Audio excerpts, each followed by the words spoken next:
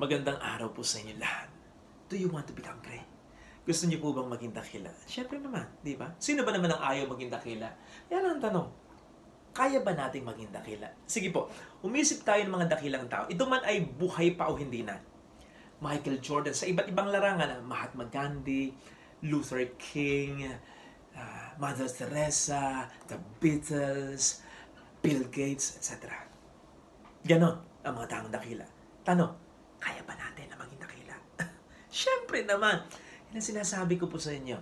Ang nakalulungkot at the back of our minds, sinisip natin kung minsan, ang kadakilan ay para lamang sa mga pinagpalang ilan.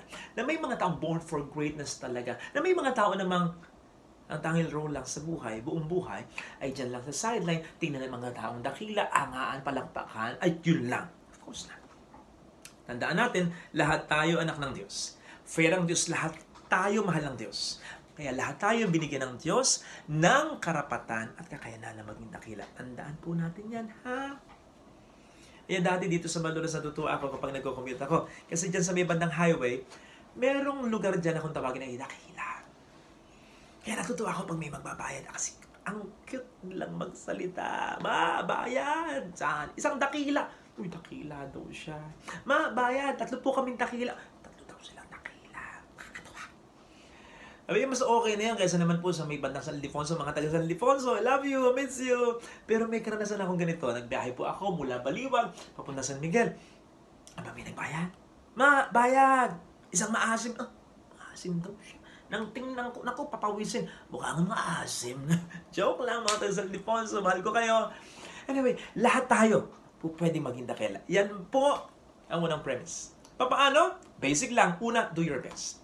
In every situation, do your best. Be the best person God wants you to be. Yun lang. Kaya ako, medyo sad na natalo ang Gila sa Italy.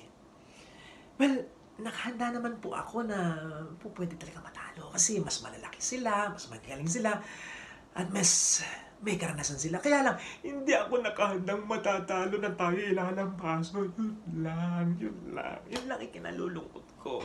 Sa mga gilas, alam po I think uh, every Filipino will agree with me. Hindi kayo yung pinakita nyo eh. Mas magaling kayo doon.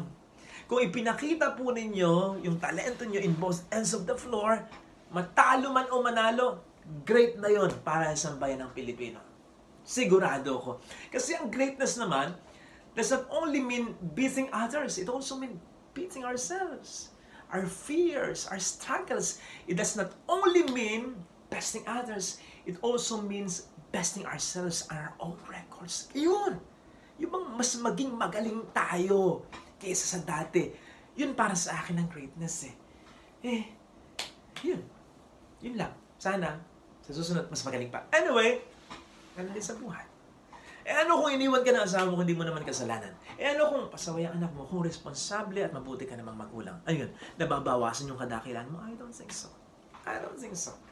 Sapagkat ang mas mahalaga naman ay kung yung anong effort ang binigay mo, yung 100% o higit pa dito, at hindi yung isinukli sa'yo o naging epekto nito.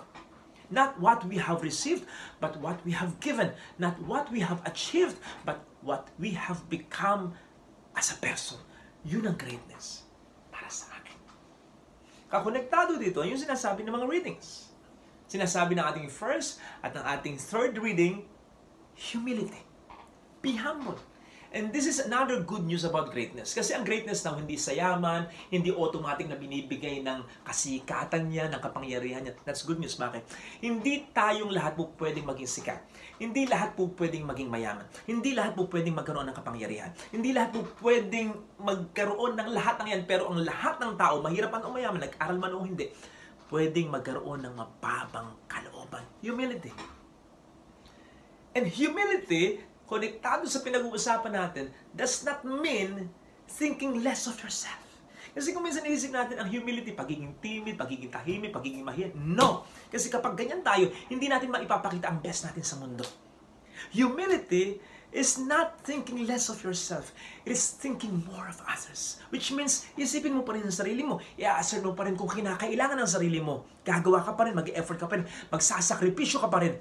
Pero hindi upang palakpakan kundi upang maka-inspire ng iba at makatulong lalo tigit sa mga nangangailangan. That's greatness.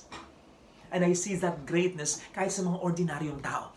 Basta ibinibigay nila ang the best nila upang makatulong sa kanilang pamilya at maging sa iba. That for me is greatness. Yung greatness na yan, hindi nakaukit sa anumang plake o sa mga monumento yan. Yung greatness na yan, nakaukit yan sa puso at kalooban ng bawat tao na nai-inspire ng ating magandang katangian. Tandaan po natin yan.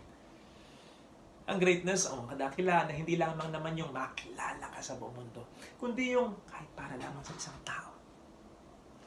Ikaw ang kanyang maging mundo dahil sa laki ng sakripisyong nagawa mo para sa tao ito. Yun ang tunay na kadakila ang kailanman. Hindi makakalimutan. So sana mag-aspire po tayo ng kadakila 3 nails and a crown, i-share po sana natin ang video ito para makatulong din naman sa ibang tao.